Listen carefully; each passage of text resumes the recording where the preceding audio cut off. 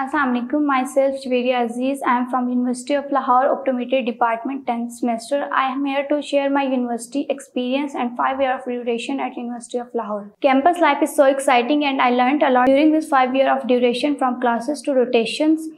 As my degree demands practical experience, so my university provides me with great opportunities. As the motive of my degree is to save vision, so our first priority is to save your vision. As regarding the scope of the degree, so I it's clear for all of us that the scope is of our talent, not of degrees.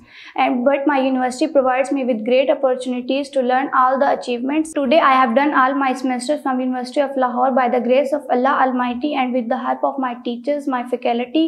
Being the senior I warmly welcome newcomers at University of Lahore as the admissions for fall 2022 are open at University of Lahore. Thank you so much.